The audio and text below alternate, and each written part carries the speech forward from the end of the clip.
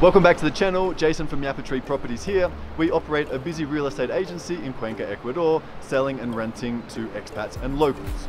Today's video is an apartment walkthrough and interview with the tenants. Let's go. Hola, I'm Gerald from Chicago, and today I'm going to give you a tour of my apartment here in Cuenca, Ecuador.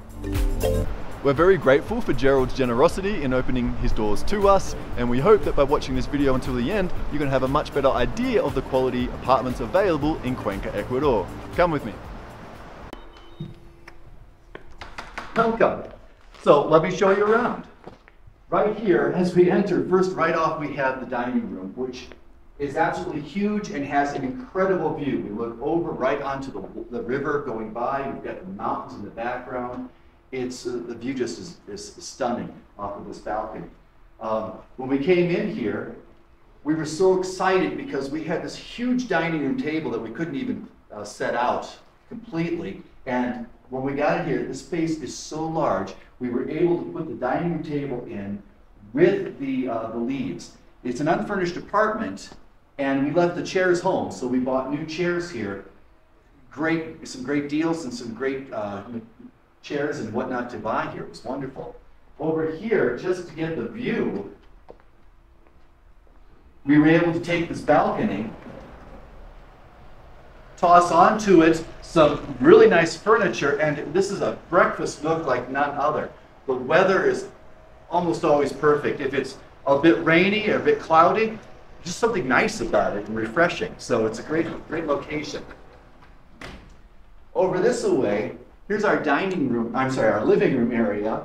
And we were very excited because we found a set that just worked out perfectly. And I think that this, this whole area just, again, just works really nice as a sitting room, uh, as a uh, living area. Um, we have another balcony with more views, uh, more places where we can put some chairs. And if we have a party, we've got people here, we've got them in the dining room, we've got them on the balcony. It's fantastic.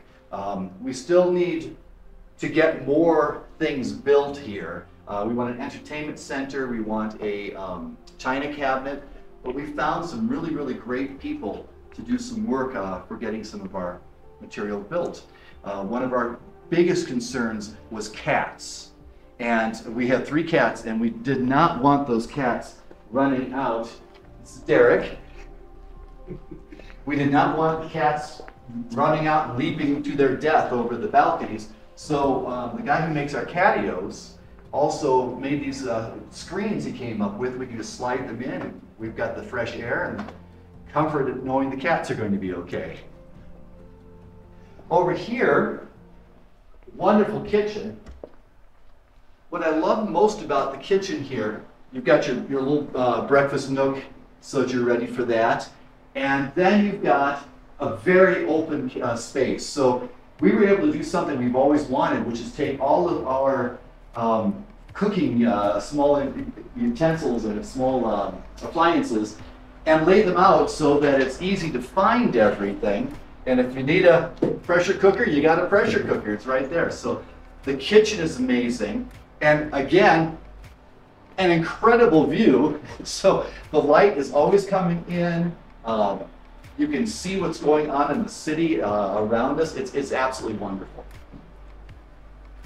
The uh, interesting thing about Cuenca that, I, that, that we've discovered is that when it's an unfurnished apartment, that means it's unfurnished, including appliances, large appliances. So we had to get um, the refrigerator, the uh, microwave, the stove, even a dishwasher, which uh, we did a we did a hunt and we found one that was absolutely the perfect size.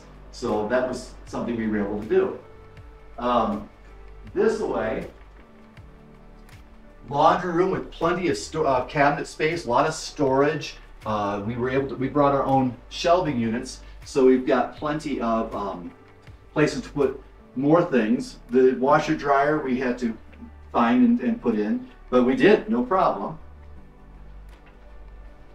We were uh, we were told a two uh, two bedroom apartment. We were thinking we don't want we need a two a three bedroom because of our offices. This is the maid's quarters. It's it's a it's a room. It's it's a, a whole environment. If we have guests over, we we've got a uh, couch that opens up to a bed so our guests can comfortably stay here. They have their own bathroom with a shower. Um, we installed this sort of desk set so that uh, Derek can do work down here or I can do work down here. And we can easily take them out and still have a comfortable room for our guests. So let's go on upstairs. So what I love about these stairs is they are extremely safe and secure because they're they're not open like a lot of the stairs that I've seen. Um, they've got a nice railing. Our landlord was funny. He told us a story how at one point there was an accidental slippage and he realized that these were extremely necessary. So we're, we're glad it's as safe as it can be.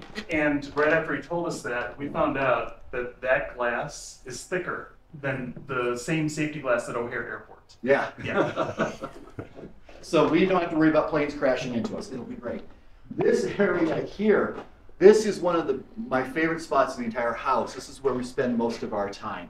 It is just like an alcove, but we've got a couch that fits perfectly. We've got bookshelves where we're able to put not just the books, but my entire Doctor Who collection up there, which is very important. Had to have that. And uh, so this, this is a really nice area. We put a little refrigerator in so that we're as comfortable as we can be. Over here, um, we had our guy make a catio for us. Because again, the cats were a big deal. And we wanted them to have an outdoor space. And so we were able to put this up and keep this available for us. Uh, a lot of fun. But it's just a nice, comfortable area. But then we still have, over here, for example, a nice little breakfast nook or just a, a reading nook if that's the, that's the case. And so this is all, all absolutely wonderful. Then this away, we have it's the second bedroom or main office because it's a larger room. And it's it's cluttered because we've got a lot of stuff in here, but I have a keyboard that I wanted to get up. We have more books that were necessary, more storage for things. So then of course the desk. So there's a lot going on here. But then while you're sitting here working, you've got this amazing view that uh, we had um, people make curtains for us. There weren't curtains here. And we had this made, which is just wonderful. We've got as much control over the light as we need. While you're working, it's just, just an amazing city and an amazing uh, area. And uh, the master bedroom, which is where the cats are, uh, are, we established this for them as a spot.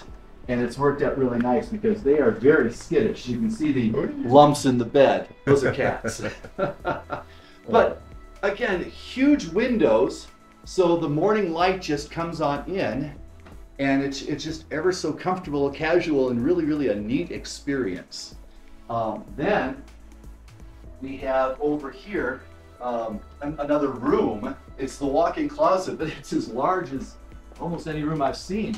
Um, there's always a spot in someone's house where you've got the cluttered things going on that you're always working on. This is that spot. But it's an amazing walk-in closet that leads right into a huge, comfortable bathroom with a shower, um, nice tiles, the jacuzzi tub, which is really, really um, nice uh, those days when it's just a little chilly or uh, you it worked out too much. but this is uh, this is all that we've got. So, in addition to the entire thing, we have a wrap-around terrace that gives us a 360 degree view of the city. So as you come out here, you've got just beautiful views. We're able to see an awful lot of what's going on in the city. We've got over here the arena, sports arena, um, and often we can hear the cheering and shouting. It's not, it's not disruptive, so we're feeling like we're too close to noise. But it's interesting to hear soccer games. You can tell when somebody's scored a goal. It's wonderful. Um, again, the mountains in the distance. Cuenca is basically a bowl with mountains all around it. And I just find that so different. Chicago is very flat. And so this is very nice. We open up here. You've got just a huge amount of land uh, on this terrace that we're going to eventually have nice um, barbecue sets and, and patio furniture and host parties out here. We've got plenty of space for it. We're still walking around. We have another area here. This ends, this wall ends here, and it doesn't give us a complete circle, but you just walk the other way and you've got all the way over to there. We've got this beautiful set of mountains. What I love about this is if it's raining, you can see the rains coming in. And we call the river angry because when it's heavy rains, that river is just roaring there. And you can see what's going to happen if if it's raining up there. We know we have to wear a nice warm coat, a raincoat when we go out. If it's nice and clear, we're probably going to be okay. Although it's Cuenca, it could rain anytime. We get to see the construction of other other buildings, so there's a lot going on in this area, and it's been interesting to see as it as it all progresses. And I will say, those buildings, once they're built, they're going to be nice. So I think they're like one to three bedrooms. one one to three bedrooms, Yeah. and uh, it's just it's just a really nice area that you can see so much. The mountains, the, the buildings. You can see how, how the neighbors are just so relaxed and casual. The the atmosphere, the weather. It's this is not Chicago at all. Um, one of the things we hated was leaving a house that we loved and we had really built up for uh, almost two decades in Chicago. You don't want to lose that. We got here and we don't regret this at all. There's there's not a moment we've thought, oh, why are we why are we here? This has just been fantastic. Basically, this is just going to be a casual, uh, you know, question and answer All type- type session. So I do have a few questions for you guys. Um, and starting from the start, like, why did you guys decide to move to Cuenca? All right. Well, you want to take that one, Derek? Um, yeah, so um, why we decided to move to Cuenca, it kind of started uh, at the beginning of the pandemic. Um, just randomly, I got served up a video, uh, retired to Ajijic, Mexico, which is like people um, retire overseas. I did not know this, you know, and apparently it's affordable to do. That I also did not know. We had a couple of friends of ours that right at 2016, um, they moved down to Costa Rica. They sold everything, and um, but they were also people that were in the, uh, you know, we make a million dollars a year bracket. So I just figured it was for wealthy people to do. But upon further research, I found out that we could live very well on his pension, living um, just south of our border, even. Um, so as we were looking, Ecuador kept coming up. Cuenca was a beautiful city. We came down, we visited uh, Quito, we visited Cuenca, and visited Manta, and we settled on uh, Cuenca to move to. It was interesting too. Uh, he did a lot of research on uh, cities around the world: uh, the Philippines, Thailand, uh, Mexico, Costa Rica. Was I love Costa Rica, and when everything we looked at, Cuenca was the one city that seemed to be best. Uh, I'm very, very concerned with climate uh, and the ch- climate change, and Cuenca's got a climate that's going to survive that really, really well.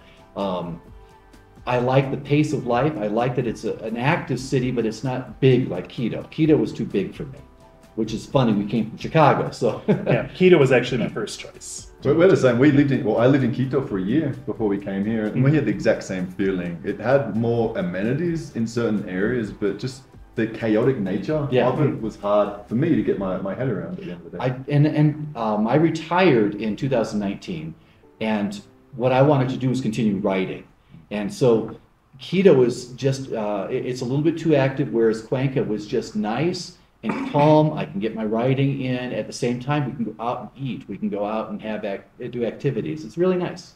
Awesome. And so cost of living was obviously a, a, a driver for you guys.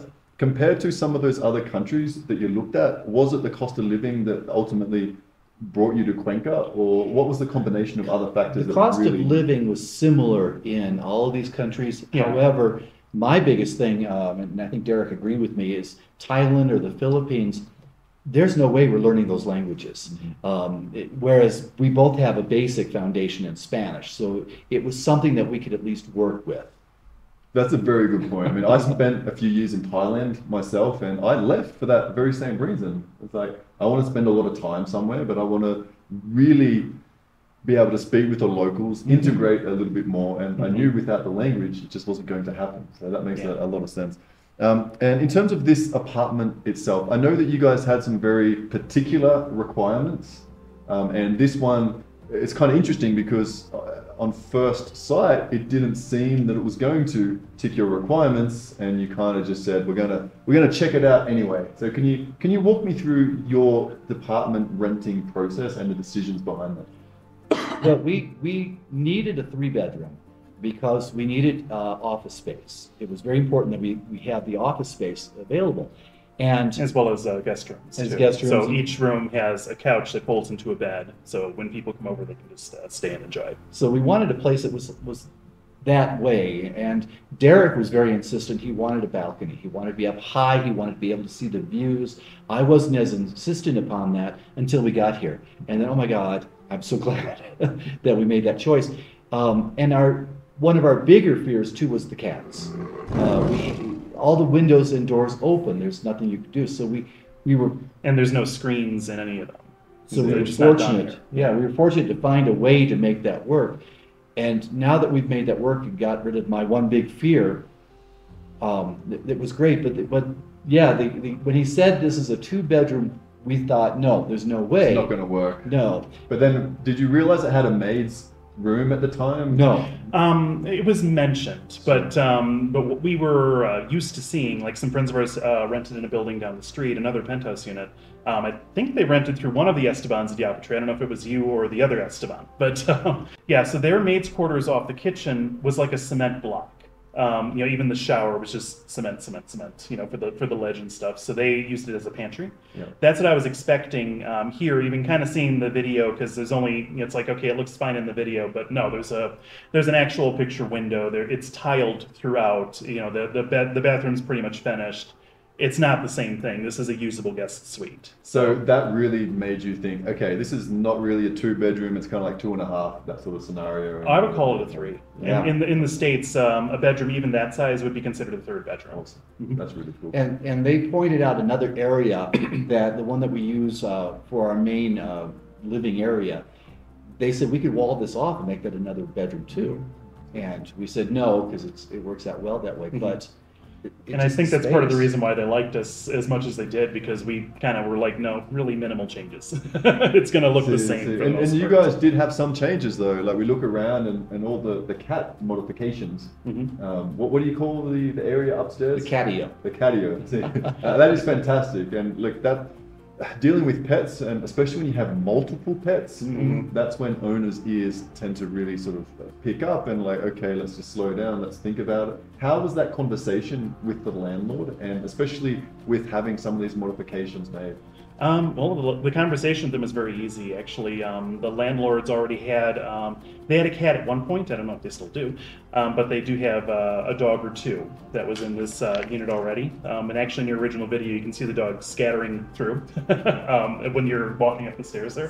Yeah. So um, so they were they were fine with uh, with the number of cats that we were bringing in. Um, but uh, we also looked at um, another unit before this that we nearly rented, um, but the landlord was not very responsive. So you know, ultimately, I'm like, this is probably going to be going forward. We're not going to get responses The from them. So- relationship with the landlords Yeah. super important. So I'm really glad that you trusted your gut on that Mhm. one. Oh yeah, yeah. But uh, but that one also they had no issues with us having pets, um, and I think um, there was the first one that uh, Esteban showed us, um, which was on the south end of El Centro. Um, it was a first floor unit, um, very very nice, fully furnished. Um, that was a pet friendly unit as well, and um, you know the furniture you could tell, yeah, cats had been here before. You know, in, in, in not a bad way. It's just you know you could see some claw marks. Um, so so yeah, we would have been able to bring them in there as well. So the ad- adapting for the cats was key uh, for my mental health, if nothing else. And we were uh, one of the things that we did is we came here on an exploratory trip. Derek had already been in contact with some people, and that expanded it. So in actuality, before we even moved to Cuenca, we already had a group of friends and a mm-hmm. group of people we knew. And they had many contacts with different things. One was getting somebody who could do cat trees. And from there, we had catios made. From there, we had furniture made. The guy we've got Right. working is, is phenomenal. And with with the cat stuff, would you recommend that guy? Oh, Oh, absolutely, hands down. So we'll, we're happy to. We'll include a link to his details in, in the description as well. Yeah, he also, um, you know, he built those tra- TV tray tables that we have. Um, and the um, there's a in the third bedroom that desk that's against the wall that actually folds into the wall. Uh, so- So yeah, he was able to build that for us. We just pretty much tell him what we want, and he's able to do it. That's great. I mean, I, I love that aspect of living in Cuenca. Is just if you want something made, go you know check out some designs online, take it to the local guy. hmm Definitely remove the prices that you've if they are available because they will tend to see that and just be like, oh, okay, this is Yeah. This is the going rate. See, Yeah. see. So, and Cuencanos have a very, very strong negotiating culture. So you can bet your bottom dollar that that's probably where they're going to start at and hope that you bring them down a, a little bit. Yeah. So, um, in terms of some of the differences in, in the renting process between Cuenca and, and the US, uh, I'd like to dig into that a little bit.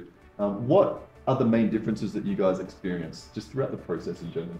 Well, for me, I only rented once in my life, and that was for an eight month stint before I bought my first uh, home. Um, but that was at an apartment complex. So I pretty much walked in, filled out an application. They had like probably 20 units available, and they're like, okay, that's for you. Yep. that was kind of it for me. So, I, I probably had more experience in renting. Um, I rented in New York a couple times and, and had gone through a lot of process. And I, I'll be honest, I think it's similar. Yep. Um, it's, I think it's always dependent upon if you can get somebody that you trust and that is uh, competent at knowing what you're saying and showing you what what happened. Um, I've had experiences in Chicago and in New York where you get that. Um, I've also seen experiences where it's not quite that; they just want to show you something. They just want to show you Yeah. what's going to benefit them. But but in all honesty, uh, when when we work with YapaTree, we were heard, and uh, what we were looking for was was shown. Um, I think it's interesting too. We said no two bedrooms, and we were shown a two bedroom.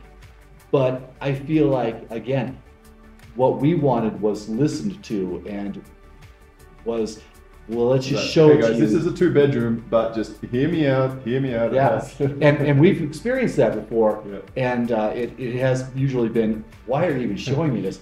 Whereas in this case, it, it really turned out to be for the best. state agent that we had before Esteban needed to show us, um, you know, so it was going to be three units.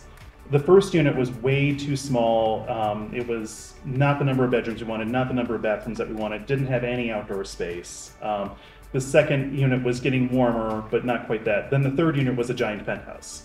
And it was like, I, this, I'm being international house hunter, Right now.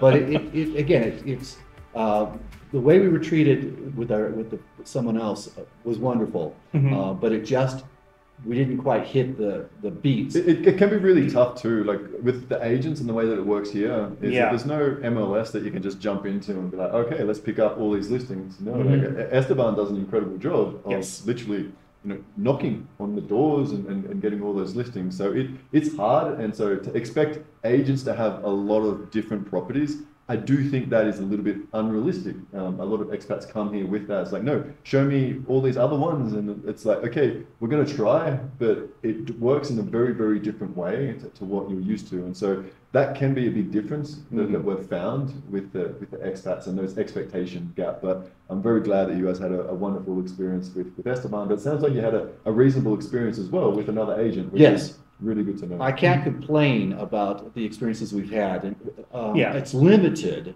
because we really didn't. We only had a couple weeks to look for a place. Yeah, yeah. Um, Yeah, we and- wanted to get that nailed down. Once we decided to move, we wanted to have the place ready to go so that we had a place to move to. Yeah, And so I they only had to adjust to one new home. I can't complain because the options I think that are there. Um, I liked the the fact that no one gave up. Uh-huh. Uh, we kept we kept looking, and again in, in Chicago, I've, I've been uh, on tours where I've seen a lot of places, and some are good, some are not so good, and some are too perfect, um, and that's because it, it was way out of our price range. But in this case, it all worked out well. Awesome. In, in terms of pricing, are you guys comfortable talking uh, about that in terms of how much you pay for rent and the deposit? I think so. I Okay. think so. Yeah, unless um, you know, because we did negotiate down with the landlords. Um, I think they were asking for fifteen hundred. We went to thirteen hundred for this Yeah. place. Great. Um, so I don't know if that's something that we should. Maybe we should just stick to what the asking price was. No, like I think for me, completely fine. Like negotiating culture for me is, is very big here. Mhm. Okay. Um, that's certainly not to say that every landlord is going to negotiate, but and Mhm. obviously it depends on the market too. You know, like depends on the place. Um, so that's great in terms of you negotiated down fifteen to thirteen hundred. And was that because of any particular reason? Um, like obviously everyone wants to pay less, and, and I completely get that. So, but was it like something in the house that you're like, okay, no, it's not quite perfect for us, therefore we would only pay this amount. Not, No, not we as just much. um, we offered uh, twelve hundred, which was the going rate for the other penthouse in Puerto Still Sol that we nearly um, went with, Yeah. and um, Esteban was our go-between, and uh, we ended up with uh, I think the, the landlord wanted just said I, I just want to make this minimum amount, um, you know, per month for rent. So we I was like that's fine, so we went to thirteen hundred. Yeah. I think the thing to, to be aware of is that we can get nice places, and I, I've seen a lot of people that we know get nice places for $400, $500. dollars Wonderful, big, huge places too, uh, maybe a little further out of the city limits, but you can get some really, really wonderful places. Um, we were thinking maybe around 700 would be our max, and that would Mhm. probably get us a really, really nice place Yeah, yeah. um, when we got here and we saw what was what this was and we, we knew that it was more money we didn't really we were still in the 700 maybe a thousand would be like an upper echelon so that was why we were kind of more Sure, to sure. negotiate that and the fact that being un, unfurnished um, we were going to have to spend money getting things in. Sure. And so some of the negotiation was because we wanted to be able to still have money to. And so this is definitely on the on the higher end of, of the scale. Mhm. It's very central located. It's it's huge. It's got the wraparound balcony. It's it's really on that you know, sort of more luxury side of, of the market. Um, and yeah, we, we have the same conversation with people. It's like, yeah, we want this is our budget and this is what we want, and that's great. But the location is really really going to matter. Mhm. And, and depending on the type of lifestyle that you want, um, do you want to own a car, that sort of thing. So if you don't want to have a car, then or if you want to own a car, sorry, then yeah, you have a lot more options and you can get somewhere that's a little bit more on the periphery and you know potentially save Mhm. money on rent, but then you've got the car costs to worry about too. So it, it, it can be a little bit of a uh, it's a bit of a balancing act as to really what works for you guys, and, Yeah. and that's the important thing. And I want to speak a little lifestyle- bit on the location too, because that was major important. Um, we're about a block or two away from the train, uh, which takes us right down to Central. And uh, that was, we want, we like the idea of living in the central area, but it, it's going to be more noisy, it's going to be more hectic. This is just, we're a few minutes away from it uh, with an easy walk. So we don't have to have a car, which we really wanted to avoid. We, uh, we're close to So we- shopping. We do have two parking spots if we We decide. have two to want parking cars. spots, too. So- You can potentially rent those, by the way, if you wanted to, to someone in the building. Yeah, yeah, we, we will keep our ears open, I'll tell you. But we've got, um, the, the, the shopping is, is accessible. We, from this point, it's a mile, mile and a half walk, which, one of the things we wanted to do was walk a lot. And so that, that's good to get to almost any place we really want.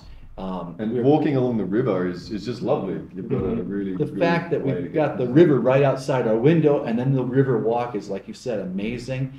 Um, the mountains we're so central to seeing everything. The location was was ideal. Um, the, the place was just big enough and nice enough so yeah it was more money but it was worth it Yeah, and going back to the location being right off the Tranvia, the fact that the Tranvia feeds the airport and the bus terminal, as well as all along El Centro, that's something that most cities in the in the in the world seem to get wrong, at least in the USA. Uh, like uh, New York, to get from the airports into the city, you're still taking shuttle buses. You know, Chicago had you know the L feeding both air both major airports there, and I'm just surprised at how many cities don't do their light rail that way. Yeah, we've Yeah. started to notice that's more of a, I guess, selling feature for certain neighborhoods. Mhm. In particular, it's opened up like that whole Misicata area, which you know traditionally is a little bit far for expats, but now with the tram just there, like a five-minute walk, and, and jump on the tram and then into town in you know sort of ten minutes, it it's a really good option um, Mhm. instead of the, the you know two three dollar taxis every single day.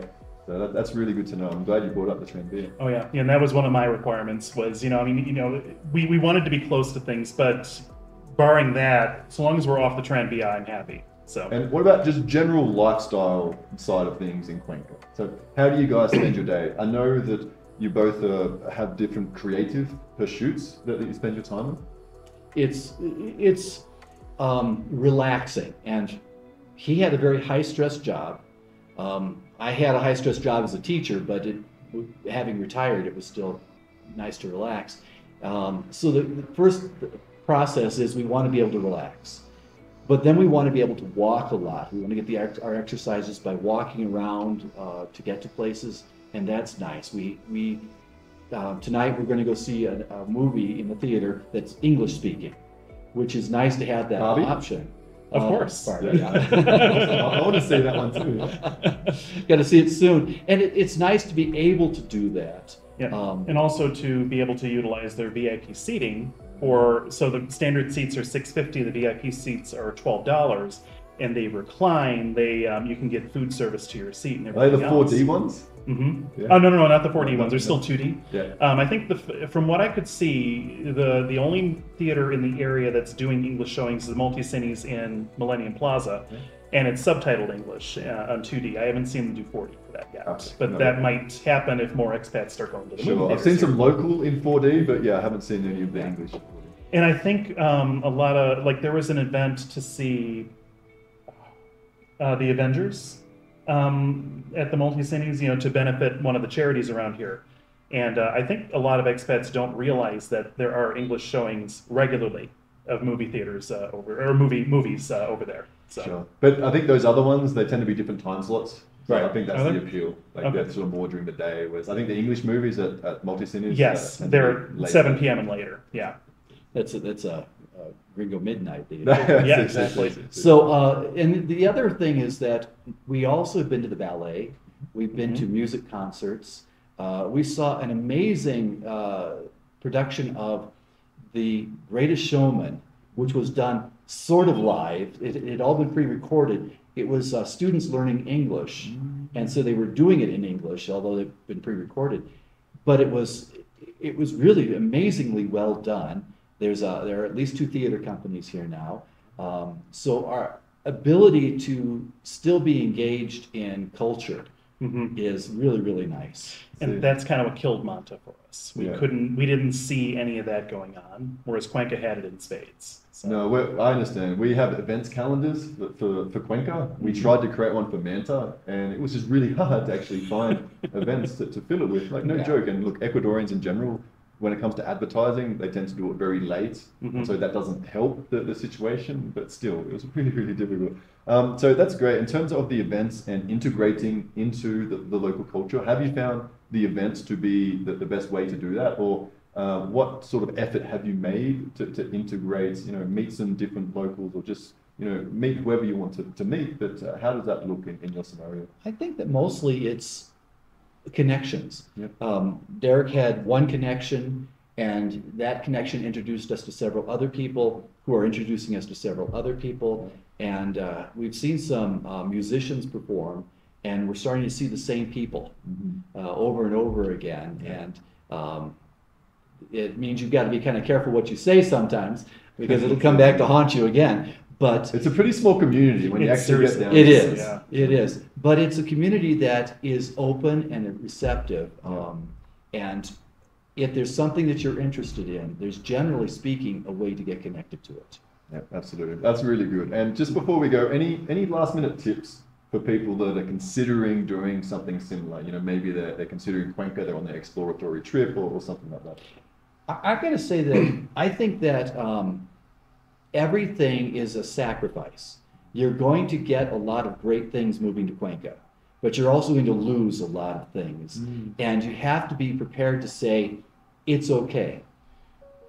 Yeah, I would say um, use your tourist visa for all it's worth. You know, take your time. Uh, if you're, especially if you're planning to ship things down, use that tourist visa. Stay down here for a few months. Um, kind of get to know the city, get to know all those different stores, what products are available, what are not, before you get your residency visa and before you decide to fill that container, because you may find that you don't want to take a lot of things. Um, like uh, uh, some of the wisdom is to bring appliances down, which I had an issue with uh, from the from the get go. You know, because it's like, well, okay, these are USA standard appliances.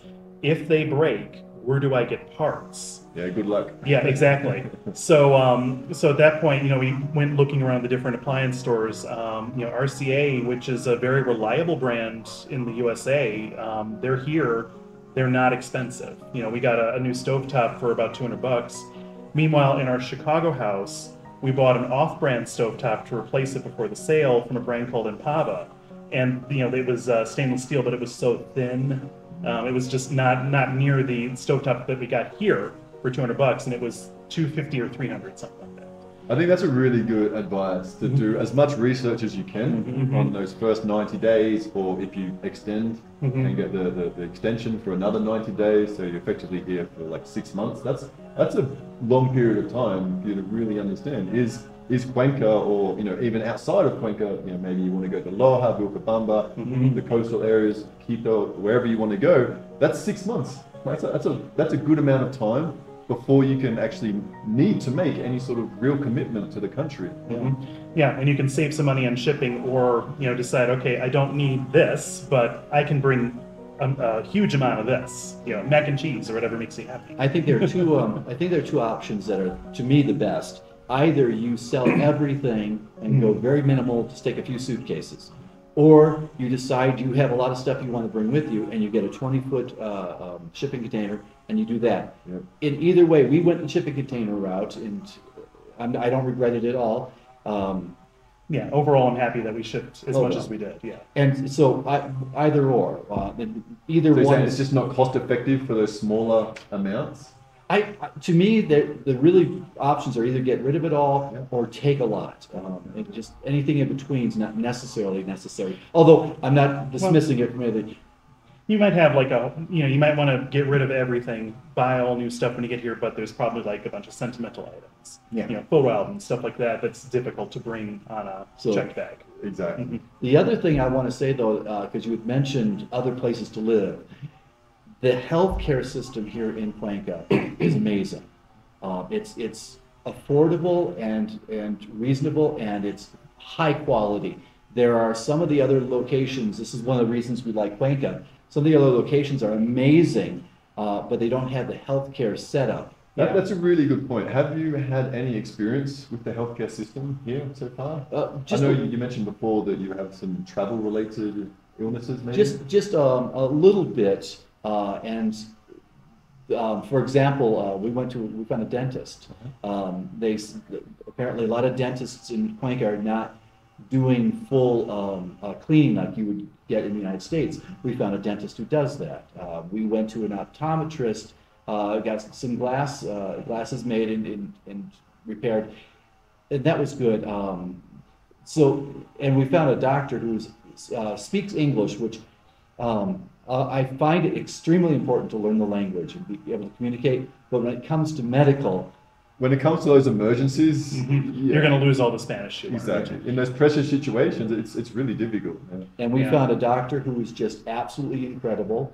Um, and so the healthcare system, from what we've experienced so far, it looks like it's going to be amazing. And uh, and that's a that's a big thing. I'm I'm a little more advanced in years, and so I have to be a little bit more cautious where I live. Yeah. Because who knows what's going to happen. There are a the bunch of hospitals here. Like there's four, you know, private Mhm. hospitals that, that are really good, good quality. Um, the difference does tend to be a lot of the personalized care. That's something that surprised me when, when I came here was that uh, doctors are available to WhatsApp at 9 p.m. at night. You know, that's Mhm.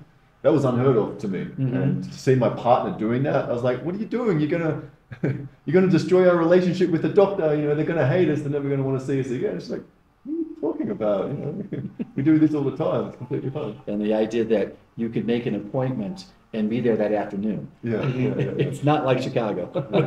But that is where um, why I limited our search to Quito, Cuenca, and Manta. Like Mhm. there was a lot being said about Olon, uh, Montanita, Salinas, but they didn't seem to have um, full service hospitals within a, a close distance. So that was immediate no for me. I'm sure the areas are very nice, but we had not checked them out for anything yet because No, it's definitely a big consideration, and that's why a lot of people on the coast tend to gravitate towards that sort of Manta area. Yeah. Because of the, the hospitals and, and all that. And that, that's also why, too, I think eventually Manta is going to completely pop off and it's going to be a, a better destination than it is uh, when we looked. But Sure. um, but yeah, right now it's the lack of culture kind of. Uh, it's, it's, it is, they're very, very different. Uh, They really are.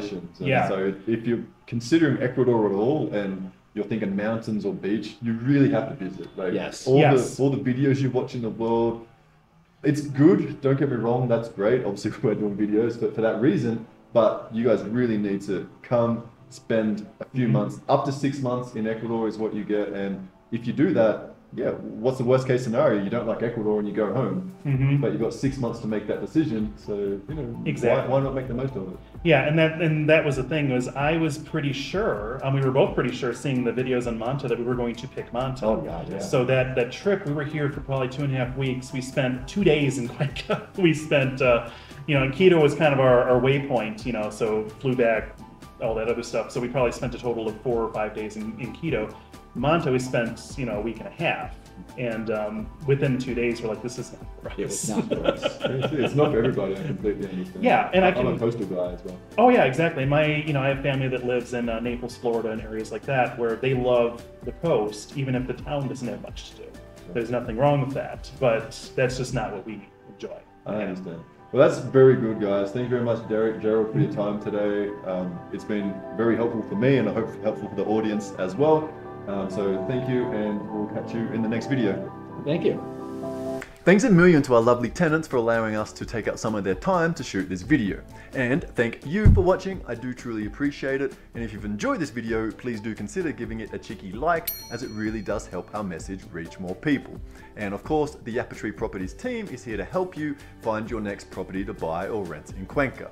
If you're in the market, do check out the listings at yapatree.com. You can also send us your property requirements and we do the searching for you. Or we also offer real estate trips designed primarily to educate buyers and renters. These are perfect for those on the exploratory trips as the core outcome is for you to understand whether Cuenca's property market will work for you. I'll leave links to these services in the description below. Lastly, I do also find myself spending a lot of time just conducting what I call mini consultations on all areas of moving and living in Cuenca. I don't have a formal booking process for this right now, but if you would like to discuss this, do feel free to hit me up, jason at yapatree.com. Thanks again for watching, and I will catch you in the next video. Ciao!